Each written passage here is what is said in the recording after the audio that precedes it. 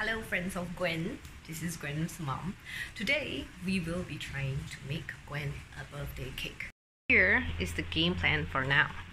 Um, we're gonna use some potatoes to bake which will be added with the coconut cream after that.